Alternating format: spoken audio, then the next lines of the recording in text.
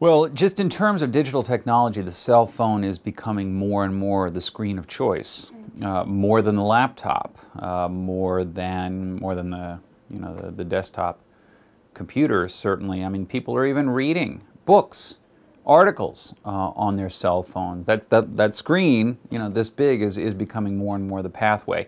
Email, in fact, is is slipping as a share of young people's communication time, uh, and it's slipping to texting. And texting, which is, you know, the, the, the handheld, uh, it keeps going up and up and up. Back a year ago, in October 2008, Nielsen counted about 1,743 text messages a month by teens with, with a handheld device, a mobile device of some kind. Three months later, that had gone up to 2,272. Now, just last month, I saw that Nielsen counted 2,900 per month. And, and there's still about 200, 300 phone calls uh, per month.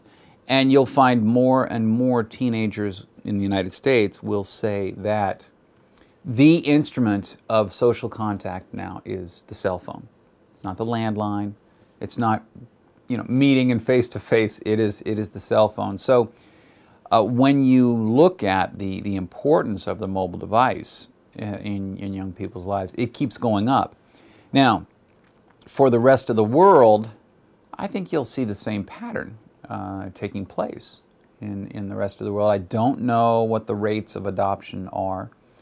I don't know sales figures and, and, and surveys, and a lot of survey data just doesn't exist for that worldwide. Uh, we can get a lot of European data, North American data. And that certainly goes along, then European data goes along from what I've seen. Some surveys in the UK, for instance, do show that, that cell phones are, are spreading and, and becoming, again, a more versatile tool. I saw an article in the Wall Street Journal uh, several months back about how cell phones are being looked at now as a primary advertising medium. This is the way you reach people now. Better than TV, better than uh, uh, better than radio, uh, cell phones. So I think that we will see that increasingly take place, and the reason is the mobility of it. You can catch people anywhere. You can't do that with a television. You can't do that with a radio even. Uh, with a cell phone, you, you, can, you can get all times a day, and, and you can leave messages text messages for them. They don't have to watch the commercial. When Obama announced his vice presidential candidate, you, you remember how? It's by a text message. And the thing is, if you weren't on, well, you didn't miss it because when you flipped open your cell phone, the message was there waiting for you. So those, those are the advantages of the, of the mobile device that are spreading its adoption. Well, the disadvantages of the cell phone, uh, many people wouldn't regard as disadvantages. Uh, some people might regard that 24 7 contact as a great big leash, a collar around your neck. You can't get away. You can't disappear. That text message is waiting for you whether you're on or not. And this is one thing that has affected uh, young people's sense of their social life. And that is that with digital technology, young people can communicate with each other all the time, anywhere. It's not just in their playgrounds or classrooms or at the mall anymore. They can conduct a social life in the back of their parents' car when they're up in the Georgia mountains they can conduct their social life in bed at midnight. 25 years ago, if your parents said, You're acting up, go to your room, you're grounded, that, that meant isolation, and you're going to sit and reflect upon your bad behavior for a while. Today, go to your room, you're grounded. No, the, the room is a command center. It's, it's a social hub. It's where they network. They have some, some of them have a more vibrant social life in their bedrooms upstairs in their house than they do when they're out in the school bus or on the, on the schoolyard. Um, now, again, for young people, that's an advantage. I mean, I can go see what pictures are going up anytime. I can go find out what, you know, Biff said to Betty this morning in the cafeteria, and it's going around everywhere. Uh, I regard that as a, as a regrettable circumstance. Uh, that there is no limit to social life means that 15 year olds can tap into 15 year olds at all times of the day. And the adult voices that they used to have to be exposed to, not listened to, but just be exposed to. It's, it's, uh, it's finding the walls higher and thicker into the youth world. Youth consciousness, youth culture, youth stuff passes all the time. And youth culture is, for the most part, anti intellectual. It's adolescent in the pejorative sense. Because adolescents are adolescents, they're just natural. Why should an adolescent care about what Winston Churchill said on the radio in 1939? It's long ago. Who cares? Why, why, why, why does, uh, you know, a march on Wash, uh, you know, the Lincoln Memorial steps in the summer of 1963, who cares what happened then? The Cold War. It's ancient history. I live my life. It's me. It's today. It's me and my friends. I go on YouTube. You know the motto of YouTube? It's right up there on the website. Broadcast yourself. Well, it's my life, my friends. It's all immediate. Social life, all the time. That's unhealthy. It's not conducive to growing up.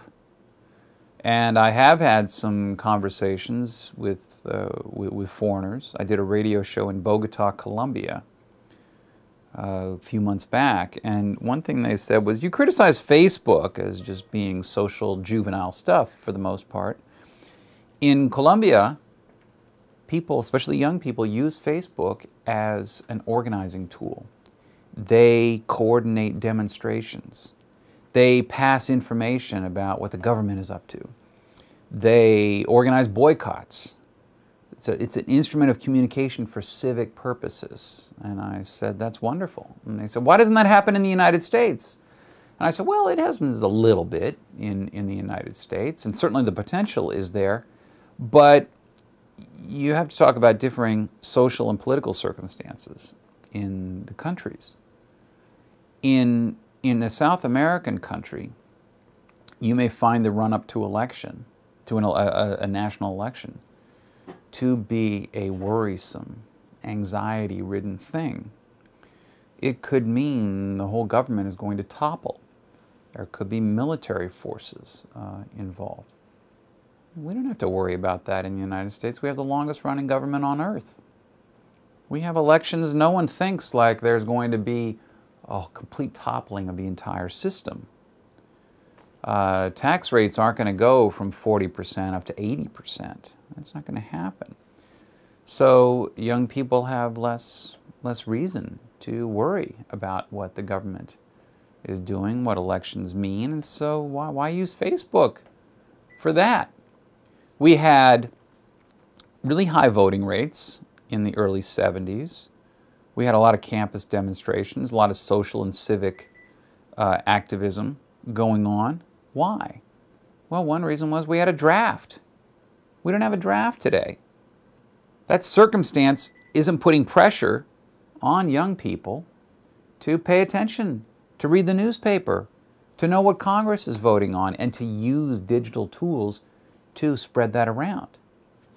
Uh, we don't have tanks at our border pointing at us. We never think about being invaded. We don't think about bombs going off. We went absolutely crazy over 9 11. We had the Patriot Act, Homeland Security. We had concrete, you know, walls, bunkers going up everywhere, airport security, everything changed. And it had to change, uh, but I certainly believe, and many others did, starting with Daniel Patrick Moynihan, that this was way, way overdone. All the barricades, all of the heightened security, it, it, it really was a loss of perspective. And people in other nations, you know, saw you, you Americans, you're so pampered. You've got it so good. You take things for granted. And what happens when people have it so good? They get complacent.